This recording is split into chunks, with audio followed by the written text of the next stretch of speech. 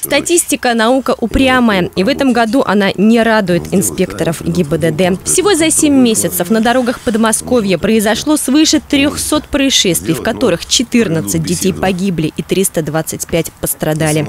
Рост по всем показателям наблюдается во многих муниципалитетах региона, в том числе и в Одинцовском районе. В этом году и в Одинцовском районе один погиб ребенок. Это э, в старом городке, когда упал с мотоцикла.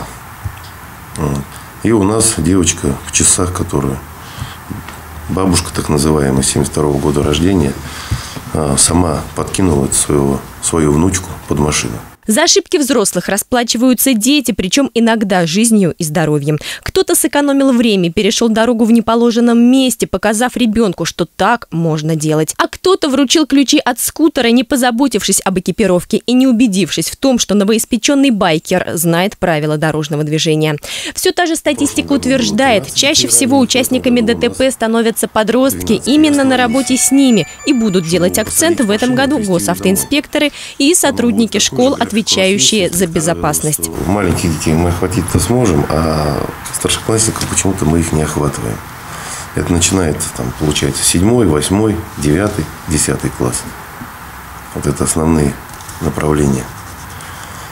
Потому что они считают себя уже взрослыми, самостоятельными. И, соответственно, они уже забывают правила дорожного движения, не хотят их вспоминать, либо придерживаться этих правил дорожного, дорожного движения. Найти и обезопасить эту непростую миссию должен выполнить заместитель по безопасности каждой школы Одинцовского района, причем в кратчайшие сроки. Вы в первые дни сентября просто должны будете выявить всех тех детей, кто пользуется веломототранспортом.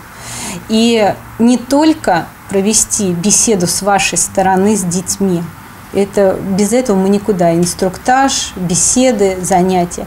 Но и также пригласить родителей на индивидуальную беседу.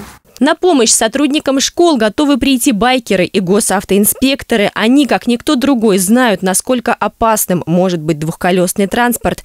Весь сентябрь у образовательных учреждений будут дежурить сотрудники ГИБДД на мотоциклах. Кроме того, запланированы общешкольные мероприятия и классные часы, посвященные безопасности дорожного движения. Но и этого недостаточно, пришли к единому мнению участники круглого стола, если в большой профилактической работе не участвуют родители.